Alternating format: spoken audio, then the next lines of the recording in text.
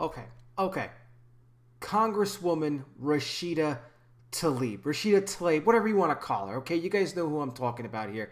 The Muslim congresswoman who absolutely hates President Trump. And I mean hates him with a passion. Okay, remember she was the same one that told her her son that they were going to go in there. Is her big goals for Congress, right? She was going to go in there and they were going to impeach the mother effer. Okay, you guys remember that? All right. Well, just recently, we know that President Trump had called for a national day of prayer. Okay, that was on Sunday, March the 15th, uh, in light of the virus going around the world right now. Okay, National Day of Prayer. It's very important for America to come together because prayer is the only thing that's going to defeat this thing. I can tell you that right now, guys.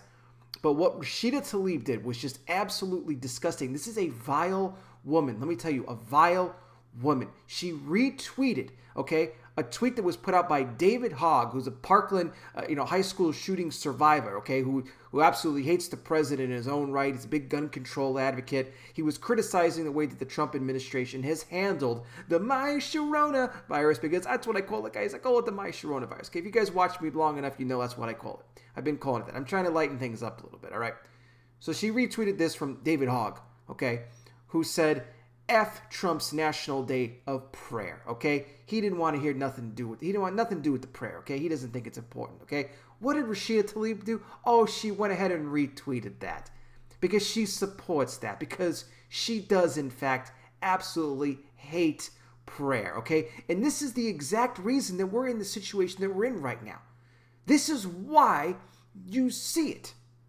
This is why you see the My Sharona virus is spreading like crazy. Look at like a wildfire, guys. Okay, you would think, you would think at a time like this that these Congress people could put their differences aside, put the political differences to the side, uh, long enough to come together, to work together, to pray. This is a time when America needs to be on their knees in repentance to God for what we've done for the sins we've committed against him, the atrocities, the slaughtering of the unborn, uh, the legalization of, of, of gay marriage. I could go on and on here. It's why you see what you see happening. Trump was right to call for a national day of prayer. And what does Rashida Tlaib do? She spits all over that and says, F your national day of prayer. I got news for Rashida.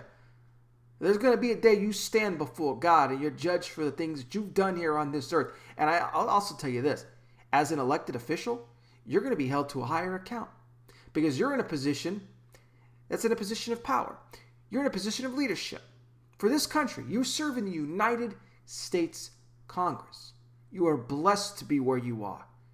In the position that you in, you are blessed to be in that position. And what are you doing? You spit in the face of God when the President of the United States calls for a national day of prayer because of the, uh, the virus that's going around our world right now in our country. You are a despicable human being, Rashida.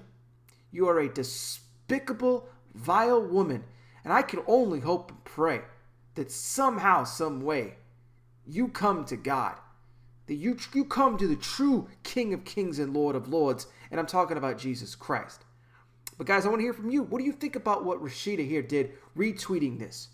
What are your thoughts on this? Okay, am I right? Let, let me know. Am I right or am I wrong about this? Is she causing the problem here? Okay. When I say this is why we're one of the reasons why we're in the spot we're in is because of politicians like this who say these horrendous things. Also, guys, give the video here a like on your way out, share it across all your platforms, subscribe if you're brand new and support the channel here on Patreon for $5 a month by going to patreon.com slash conservative truth. You can help sponsor this channel right here because YouTube hates me. I'm a Christian conservative content creator. That doesn't bode well for me. So if I'm one of your favorites, guys, why not help me out a little bit there? I would greatly appreciate it. Thank you guys so much for watching. I cannot tell you how much it means to me that you guys tune in here to these daily videos, and it makes me very proud and very happy to do this for you guys uh, each and every single day, and I'm committed to continue doing that. I'll be back with more. You guys take care. Please be safe out there. God bless each and every single one of you, and I'll talk with you soon.